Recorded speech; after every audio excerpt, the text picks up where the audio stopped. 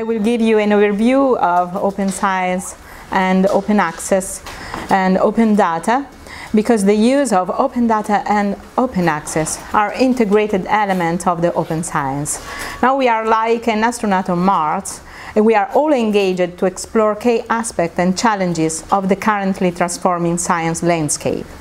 Open science describes the ongoing evolution in the modus operandi of doing research and organized science.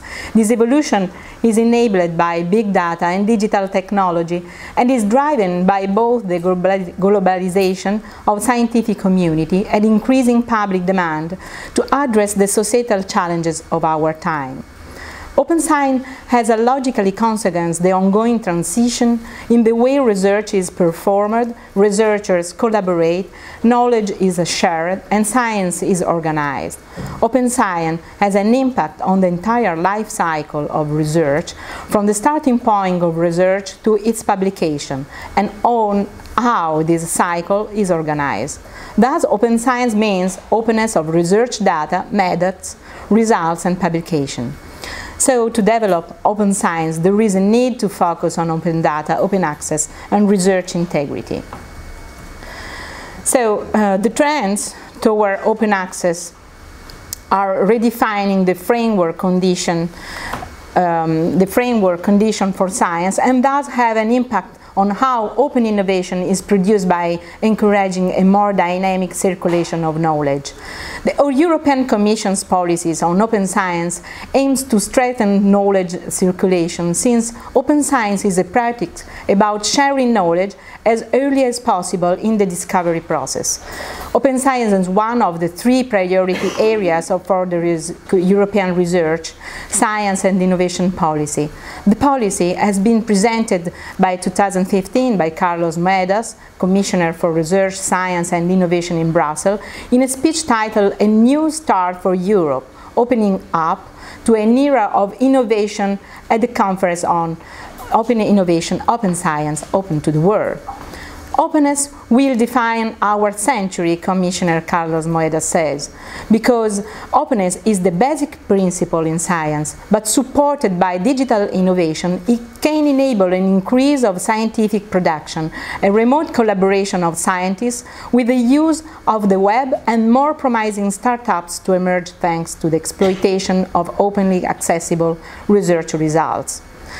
Open science depends on open mind, said in the video Neelie Kroes, the former European Commissioner, because however open science doesn't mean free science. It is essential to ensure that intellectual property is protected before making knowledge publicly available in order to attract investment that can help translate research results into innovation.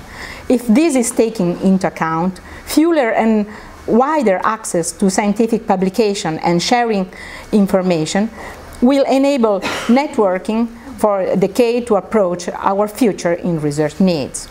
The Open Science Monitor is an initiative of the European Commission to keep up to date with progress in open science.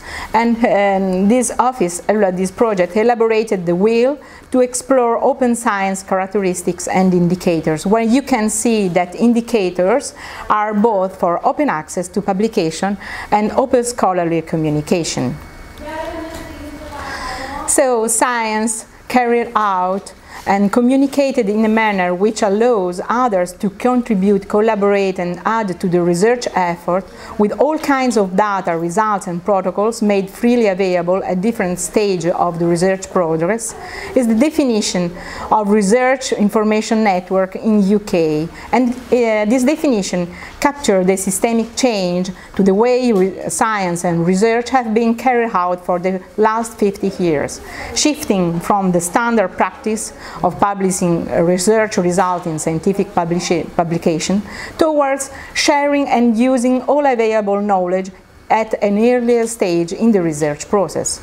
So open science is more than open access publishing. As you can see in the diagram, um, on, of Andreas Neuhold. It includes open data, open source, that means sharing code and tools to allow others to reproduce work and, and open methods for documenting and sharing workflows and methods and using web-based tools to facilitate collaboration and interaction from the outside world. scientists, citizens, publishers, research institutions, public and private research founders, students and education professionals, as well as com companies from around the globe are sharing an open virtual environment. So research has a long history in Europe. Over the recent decades, it has gradually acquired a sense of collaboration between European countries, linking first their research activities, then their policy in the field. The very fir first Europe-wide framework program for research was launched 30 years ago to bring together expertise from across the European community, as it was then known, and make Europe more competitive in K technologies. European research funding evolved from separate programs to become a major component of the research and innovation landscape in Europe. Their objective has also evolved from supporting cross-border collaboration in research and technology to now encouraging a European coordination of activities and policies. The reason for this is simple. Research, technology and innovation are at the core of Europe's economy and are vital for a successful society. So today, Horizon 2020, the eighth framework program, is the biggest and most ambitious with a budget of 80 billion euros. So now the Commission uh, plans to create a new European open science cloud that will offer Europe's researchers a virtual environment to store, share and reuse their data across disciplines and borders by integrating and consolidating e-infrastructure platform, federating existing scientific clouds and research infrastructure, and supporting the development of cloud-based services. This will be supported by European data infrastructure, deploying the high bandwidth networks, large scale of storage facilities, and supercomputer capacity necessary to effectively access and process large data sets stored in the cloud. Focusing initially the, uh, on the scientific community, the user will be enlarged to the public sector and to industry. This initiative is part of a package measure to strengthen Europe's position in data-driven innovation, to improve competitiveness and cohesion, and to help create a digital single market in Europe. The European Cloud Initiative will unlock the value of big data by providing world-class supercomputing capability, high-speed connectivity, and leading-edge data and software services for science in industry by 2020. Uh, this initiative will make science more efficient and productive and let millions of researchers share and analyze research data in a trusted environment across technologies, disciplines and borders. The European Cloud Initiative will make it easier for researchers and innovators to access and reuse data and will reduce the cost of data storage and high performance analysis. So now we approach the, um, the concept of open data and open, open access. So the, the open uh, definition sets out principles that define openness in relation to data and content. Open means anyone can freely access, use, use modify and share for any purpose. And uh, the principles that were identified by the Open, Open Access Foundation is about, uh, the first principle is about availability and access. So data must be available as a whole and no more than a reasonable reproduction cost, preferably by downloading over the web. The data must also be available in a convenient and modified form. The second principle is about reuse and redistribution. Data must be provided under, under terms that permit reuse and redistribution, including the intermixings with other data sets. The data must be also machine readable. Then we have a principle on universal participation. Anyone can anyone must be able to use, reuse and redistribute. There is a the data and uh, with no discrimination against fields of endeavor or against personal growth. For example, non-commercial restriction that would prevent commercial use or restriction of use for center purpose, for example, education, are not allowed. So what kinds of open data are the most diffused? There are many kinds, and you can see a little picture where uh, there are data about uh, culture heritage, so uh, data about culture works and artifacts, of course data from science, data that are produced as a part of, of scientific research, finance, statistics, weather, environment. So you can see also here the most adopted licenses for open data because explicit dedication of data underlying published science into the public domain using uh, a CC0, for example, license uh, is strongly recommended and ensures a compliance with both the Science Common Protocol for implementing open access and open data and the open knowledge data definition. So the license of uh, CC BY, because data must credit whoever has published or generated the data, and copies or adaptation of data must be released similarly as open data, and so the, uh, the licenses with the share alike. But uh, making data available is not sufficient. So now um, data should be available and fair according to the initiative developed by Force uh, 11 and now adopted also uh, by the European Commission. So data must be findable, accessible, interoperable and reusable. So how to make open data? Oh, uh, you can follow the guideline of the Open Knowledge Foundation that helps you in the process. So the first step is to choose your data set. What can you may open? You may need also to revisit this step if you encounter problems later. They recommend that you ask the community in the first instance. So that is the people who will be accessing and using the data as they are likely to have a good understanding of which data could be valuable. So then you apply eh, a, a, license, eh, a suitable license, like for example a CC BY. Even in places where the existence of rights is uncertain, it is important to apply a license simply for the sake of clarity. Then you make data available. You provide the data in a suitable format. You use relevant metadata standard and you use repositories. Open data needs to be technically open as well as legally open. Specifically, the data needs to be available online, also in a bulk machine readable format. To make sure that data can be understood by their community and others, researchers should create metadata and documentation. Metadata is basic descriptive information to help identify and understand the structure of the data. Also, documentation provides a wide context. It's useful to share the methodology and the workflow software and any information needed to understand the data, such as, for example, explanation of abbreviation.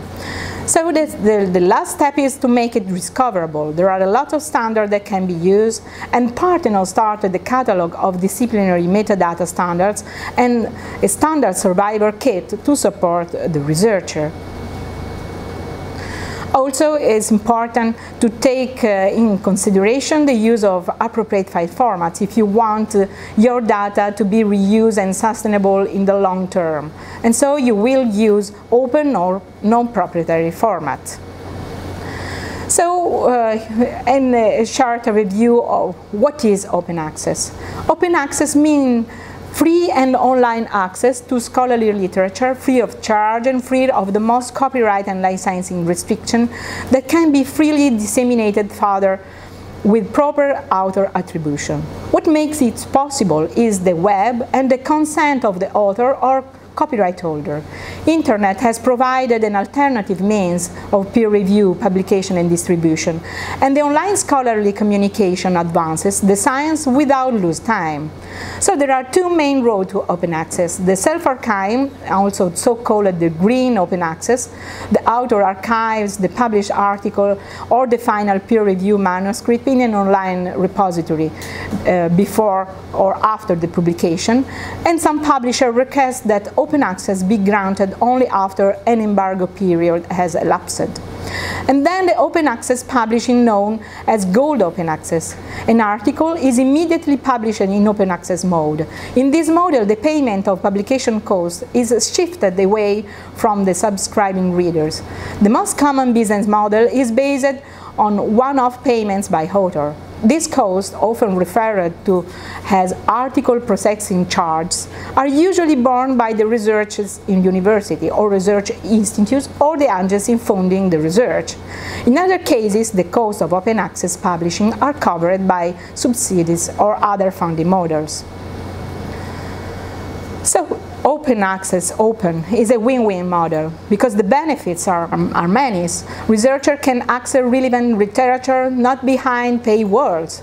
It ensures research is transparent and reproducible, increased visibility, usage, and impact of research work, foster new collaboration and research partnership, and ensure a long-term access to research outputs, help increase the efficiency of research, and certain research community have also seen the benefit of sharing data as it speed up the process of discovery. Researchers in the field, for example, in the medicine field, uh, research have agreed as a community to share data immediately to make scientific back, breakthroughs. There is also a citation advantage for individual researchers. It's now clear that shared data receive 10% more citation. Articles freely available online are more highly cited. cited.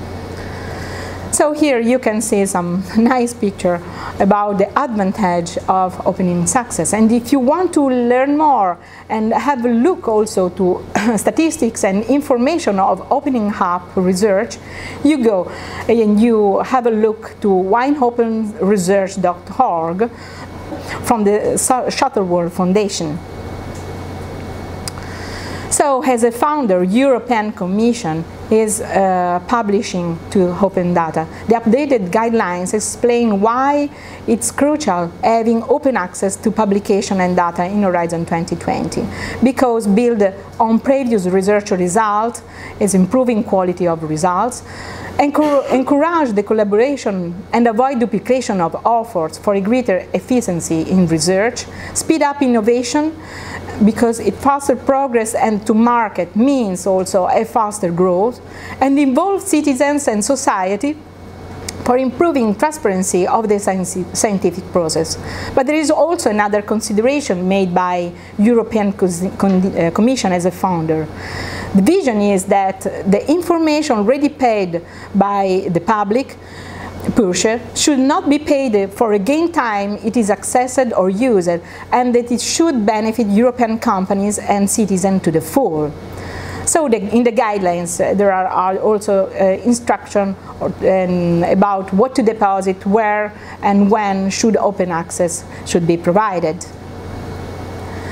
So openness is a challenge for Europe Carlos Moedas, uh, the European Commission, launched the challenges for, for Europe research. We need more open access to research results and the underlying data.